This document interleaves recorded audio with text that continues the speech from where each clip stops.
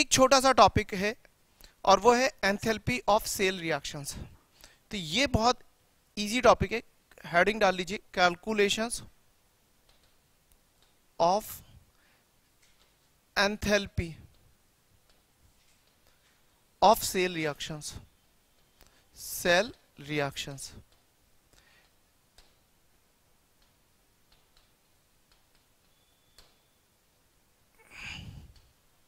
enthalpy of cell reactions, एक और चीज़ आएगी इसके अंदर and cell constant cell temperature constant temperature coefficient तो देखिए टेम्परेचर कॉफिशिएंट ऑफ़ सेल भी बोल सकते हो या सेल टेम्परेचर कांस्टेंट बोल सकते हो। जैसे आप केमिकल काइनेटिक में टेम्परेचर कॉफिशिएंट बोलते हो ना, वैसे इलेक्ट्रोकेमिस्ट्री में भी एक टर्म चलती है टेम्परेचर कॉफिशिएंट ये दोनों वैल्यूज़ हमें कैलकुलेट करनी है। तो बहुत आसान लैंग्वेज में अगर हम बात करें तो क्या आप स्टार्टिंग करते हैं? वी नो दैट क्या हम ये जानते हैं? Delta G equal to delta H minus T delta S होता है? यस और नो अगर हमने इसका डिफ्रेंशिएट कर दिया टी के रेस्पेक्ट में पार्शियल डिफ्रेंशिएशन तो हमारे लिए क्या हो जाएगा?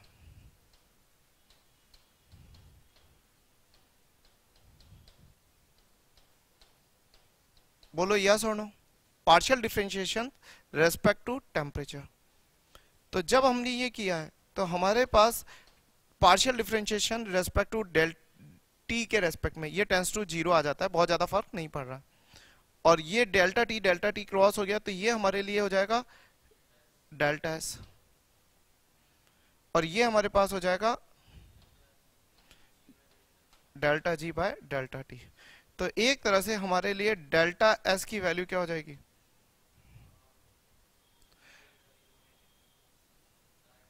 अगर डायरेक्ट लिखे तो माइनस भी लगेगा।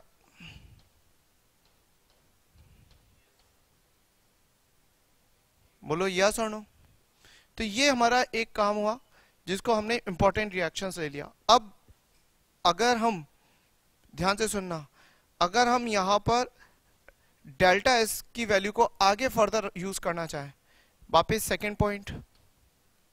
We know again delta G equal to delta H minus T delta S, और इस बार डेल्टा जी की वैल्यू मैंने रख दी माइनस एन ई एफ़। रख सकता हूँ मैं? डेल्टा जी की वैल्यू हम जानते हैं एन ई एफ़ होता है। तो यहाँ रख दिया n E F delta H की जगह डेल्टा एच टी की जगह टी और डेल्टा एस की जगह हमने वहाँ से उठा दिया। Minus delta delta G upon delta T बोलो यस माइनस से माइनस क्रॉस हुआ प्लस तो minus n E F delta H plus T की जगह T delta G delta G की जगह आप क्या लिखेंगे? एन ई एफ़ यहाँ पर भी रख सकते हैं और डेल्टा टी ये वाली वैल्यू उस तरफ़ ले गए या ये वाली वैल्यू इस तरफ़ लिया है, बात एक ही है। पहले आप साइन देख लीजिए, आपको समझ में आ गया? कहीं कोई गलती नहीं हो रही है। एक गलती हो रही है कि जब आप डेल्टा जी की वैल्यू रखेंगे माइनस तो ये वापस माइनस आएगा। कुछ समझ में आया? क्यों? क्योंकि ये माइनस माइनस तो प्लस हो गया। डेल्टा जी की वैल्यू क्या है? माइनस एन एफ़ तो ये वैल्यू इस तरफ़ आएगी। तो आपके पास डेल्टा एच की वैल्यू क्या आ जाएगी? इस जगह। T into n into F. जो कांस्टेंट है वो बाहर लेके आ जाओ। Delta E by delta T. Minus n E F ये इस तरफ़ आ रहा है तो माइनस एन ई एफ़ हो गया। अब आप एक काम करो, ठीक है, कोई दिक्कत नहीं, ये इक्वेशंस आपके पास आ गई। अब इसमें कौन सी चीज़ क्या है उसको समझते हैं। सबसे पहले, डेल्टा एच हमारे पास क्या है? Enthalpy of enthalpy change of enthalpy enthalpy change of cell reactions जो भी सेल रिएक्शन हो रही है, उसकी रिएक्शन इसको बोल सकते हैं हीट ऑफ़ सेल रिएक्शन भी बोल सकते हो. Heat heat of cell reactions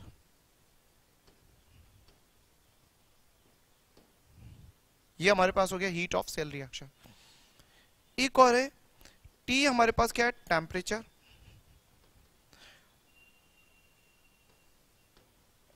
delta E by delta T क्या बता रहा है एक तरह से? इसी को बोलते हैं हम temperature coefficient temperature coefficient of cell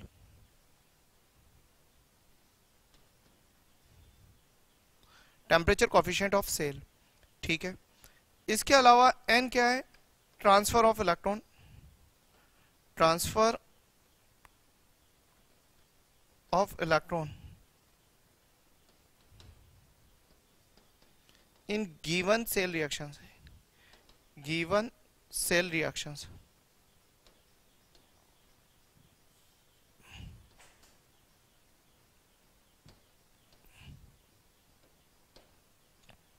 ये गिवन सेल रिएक्शन में ट्रांसफ़र ऑफ़ इलेक्ट्रॉन हो गए।